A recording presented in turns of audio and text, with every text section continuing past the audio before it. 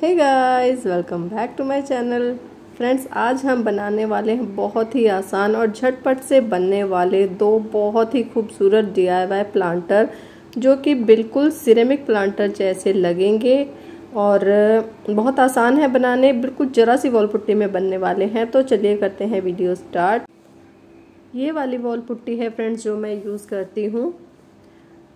एक बाउल में निकाल लेते हैं वॉल पुट्टी, बहुत ज़्यादा वॉल पुट्टी आपको घोल के एक ही बार में नहीं रखनी है थोड़ी थोड़ी ही यूज़ करनी है, क्योंकि गर्मी है, बहुत जल्दी से ये सूखना स्टार्ट हो जाती है।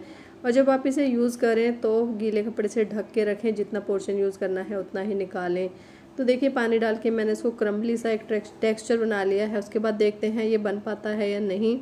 अभी इसमें थोड़े से पानी की और ज़रूरत है। चम्मच से थोड़ा सा पानी डाला है, फिर से मैं इसको इकट्ठा कर लूँगी और हाथों से मसल मसल के एक डो तैयार कर लूँगी। डो बिल्कुल हार्ड रखना है, आपको सॉफ्ट नहीं रखना है। सॉफ्ट रखेंगे तो आपका जो क्राफ्ट है वो नीचे की तरफ़ लटक जाएगा। तो एक ग्लास लिया है, ग्लास के ऊपर मैंने थोड़ी सी ऑयलिंग कर ली है। और फिर अपना जो वॉल पुट्टी का डो है उसे निकालते हैं।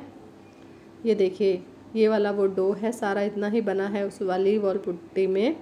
तो इसको मैं पहले बेल के थोड़ा सा फ्लैट कर लूँगी। अगर आपका जो वॉल पुट्टी का डो है सॉफ्ट होगा थोड़ा ज़्यादा ही मतलब सॉफ्ट होगा, हार्ड नहीं होगा तो वो प्लेट से चिपक जाएगा, फिर निकल नहीं पाएगा ये। लेकिन मैंने इसको जहाँ तक तो हो सका है नरम तो गूंदा है मैंने इसको, लेकिन ज़्यादा पतला नहीं किया है, बिल्कुल गाढ़ा गाढ़ा मतलब टाइट टाइट मैंने उसको रखा है। जैसे पूरी का आटा बनाते हैं हम उस तरीके से। अब मैंने एक ढक्कन लिया है, इसको राउंड शेप इसकी निकाल ली है। एक्स्ट्रा वॉल पुट्टी को मैं ढक के रख दूँगी गीले कपड़े से। अब देखिए, इसको निकालते हैं। उससे पहले मैं थोड़ा सा इसको प्लेन कर लेती हूँ पानी लगा के। अब चाकू की हेल्प से मैं तो थोड़ा सा हटाऊँगी और फिर ये आराम से निकल जाएगा, देखिए। अब इसे हम रख देंगे ग्लास के ऊपर। लेकिन ये जो मेरा वॉल पुट्टी का जो मैंने बनाया है फ्लैट किया है, वो थोड़ा छोटा रह गया था। तो फिर मैंने उसी को और बड़ा कर दिया और, फिर मैंने उसको राउंड में कट नहीं किया था। बस राउंड को जैसा मेरे से बेला गया, वैसा मैंने बेल दिया, कहीं से ऊँचा और कहीं से नीचा। इस तरीके से मेरा ये वाला क्राफ्ट बनके रेडी होने वाला है। हल्के हाथों से इसकी थोड़ी सी जैसे हमें प्लेट टाइप बना देनी है, इस तरीके से। दबाना नहीं है, आपको हल्का हल्का सा बस इसको ऊपर की तरफ़ ही उठा हुआ रहने देना है, जैसे मैंने किया है। बहुत इजी है फ्रेंड्स ये वाला तो फट से बन जाता है, ये वाला डी तो बस रख देते हैं इसको सूखने के लिए। तो कई घंटे सूखने के बाद जब मैं श्योर होगी कि पूरी तरीके से सूख चुका है तो अब इसे निकालने की बारी आ गई है। बड़े ही हल्के हाथ से हमें इसे निकालना है। और देखिए इजीली ये निकल गया। और कितना खूबसूरत ये लग रहा है। ज़रा सी वॉल पुट्टी यूज़ की और सिर्फ़ दो मिनट में ही ये बन के रेडी हो गया है। बारी आती है इसको कलर करने की। कलर मैं यूज़ कर रही हूँ फ्रेंड्स, इसमें oil paint synthetic enamel paint है। रेड कलर मैंने लिया है। इनकी शाइन बहुत ज़्यादा अच्छी होती है और ख़राब तो ये होते ही नहीं हैं। इनकी चमक सालों साल ऐसे ही बनी रहती है और इनके ऊपर हमें वार्निश करने की भी ज़रूरत नहीं पड़ती है। तो इसको मैंने कई घंटे रखा और सुखा लिया है। फ्रेंड्स, कड़ी धूप में आपको नहीं रखना है। अगर कड़ी धूप में रखेंगे तो क्रैक्स आने का डर होता है। अब मैंने लिया है यहाँ पर एक्रेलिक पेंट गोल्डन कलर लिया है और जो इसकी किनारियाँ हैं ऊपर की तरफ़, उस पर मैं गोल्डन कलर कर दूँगी। इस तरीके से। अब अब अगर आप कोई और डिज़ाइन बनाना चाहते हैं, आपके दिमाग में है कोई डिज़ाइन तो आप वो भी बना सकते हैं।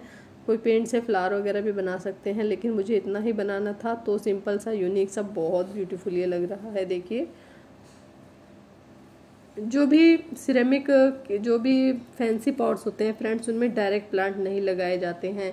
डायरेक्ट प्लांट लगाएँगे तो पानी वगैरह डलने से वो जल्दी ख़राब हो जाते हैं। तो आपके डी सालों साल चले तो इसके लिए आप उनमें कोई भी फेक प्लांट लगाएँ या फिर किसी छोटे से कंटेनर में लगा के आप लाइव प्लांट भी लगा सकते हैं। तो मैंने लगा दिया है एक फेक प्लांट और कितना खूबसूरत ये लग रहा है। झट से बनने वाला प्लांटर चलते हैं।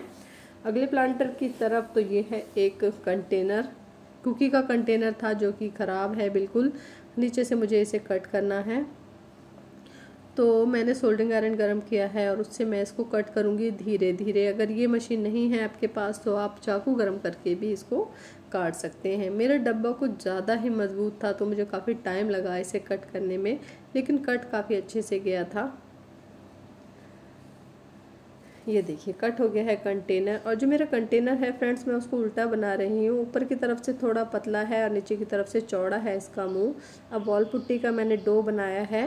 और उससे ही, उसको मैं बेल लूँगी, अच्छे तरीके से शीट्स बना लूँगी उसकी और वॉल पुट्टी के पेस्ट से ही हम इसको चिपकाएँगे। देखिए, ज़रा सा मैंने पेस्ट लगा लिया है इसके ऊपर इस तरीके से और इसको हम लगा देंगे। पतली पतली शीट्स बनानी है, बहुत ज़्यादा मोटी नहीं बनानी है।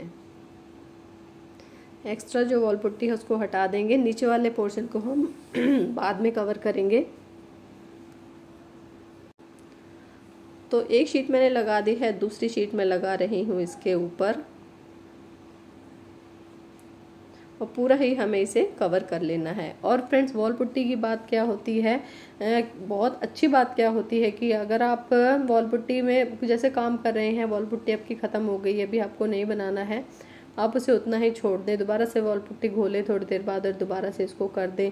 और आप कभी भी, कितनी देर बाद भी इसको आप लगाएँ तो जब भी आप इसको बनाएँगे, बिल्कुल ऐसे मिक्स हो जाता है। वॉल पुट्टी की पुरानी और नई लेयर पता नहीं चल पाता है कि आपने थोड़ी देर बाद इसको किया है। तो मेरी जितनी वॉल पुट्टी थी, अभी मेरे पास बनाया हुआ डो, उसको मैं यूज़ कर रही हूँ, फिर दोबारा से मैं डो बनाऊँगी और फिर लगाऊँगी। क्योंकि ये वाली वॉल पुट्टी फिर सूख जाएगी, ख़राब हो जाएगी। गर्मी बहुत ज़्यादा है इस टाइम अब मैं पानी लगा लगा के इसको थोड़ा सा स्मूथ कर लूँगी इस तरीके से। और जो थोड़ी बहुत कमी पेशी रह जाएगी, हम दोबारा वॉल पुट्टी का पेस्ट बना के, जहाँ पर भी हमें गड्ढे वगैरह नज़र आएँगे, उनको सबको हम कर लेंगे फिल और फ्रेंड्स, जो नीचे वाला हिस्सा है इसका, मैंने इसमें वॉल पुट्टी का थोड़ा सा और डो लगा के और फिर नीचे वाले पोर्शन को चौड़ा और ऊपर वाले को पतला इस तरीके से मैंने बना लिया था। तो ये वाला है, इसको मैं रखती हूँ, पूरा कंप्लीट करके दिखाती हूँ आपको। ये देखिए, ये मैंने नीचे से थोड़ा सा इसमें और वॉल पुट्टी का पेस्ट लगाया था तो नीचे से चौड़ा नज़र आ रहा होगा आपको। फिर मैंने इसको ड्राई कर लिया है, धूप में ड्राई नहीं करना है, क्रैक्स पड़ जाएँगे इसमें। फिर मैंने थोड़ा सा पेस्ट लगाया है और वॉल पुट्टी का डो बनाया है और इसको बनाएँगे हम इसकी नोज़ की तरह। ये वाला डो थोड़ा ज़्यादा था तो मैंने कर दिया है इसमें से कम। हम इसकी अच्छी सी शेप देते देते इसको बनाएँगे। उंगलियों से आप इसको अच्छी सी शेप दे सकते हैं। वॉल पुट्टी के साथ काम करना फ्रेंड्स बहुत ही आसान है। आप एक बार बनाने लग जाते हैं तो फिर धीरे धीरे आप इतने एक्सपर्ट हो जाएँगे कि कोई कह नहीं पाएगा कि आपने इसको मार्केट से ख़रीदा है, इस वाले डीआईवाई प्लांटर को। सॉरी, प्लांटर को या फिर आपने खुद से ही डीआईवाई करके बनाया है। तो देखिए, मैं पानी लगा रही हूँ और उंगली से मैंने उसको बिल्कुल स्मूथ कर दिया है। सूखने के बाद ऐसा नज़र आ रहा है हमारा ये प्लांटर और अब हमें इसे घिस के करना है बिल्कुल स्मूथ सैंड पेपर लिया है मैंने और मैं इसको अच्छे से घिस दूँगी। इतना नहीं घिसना है फ्रेंड्स आपको कि आप डब्बा ही निकाल दें अंदर से, लेकिन इतना घिसना है कि बिल्कुल स्मूथ हो जाए और कहीं से भी हमें कोई भी ऊंचाई निचाई ना नज़र आए, बिल्कुल सॉफ्ट स्मूथ बड़ी हद से इसका जो बाहर से लुक है, आ जाना चाहिए। देखिए, इस तरीके से तो मैं इसको पूरा ही घिस ले रही हूँ अच्छे से। ये देखिए, घिस के कितना स्मूथ हो गया है ये बिल्कुल। और मुझे ऐसा लग रहा है कि मैं भी धीरे धीरे वॉल पुट्टी क्राफ्ट में एक्सपर्ट बन ही जाऊँगी।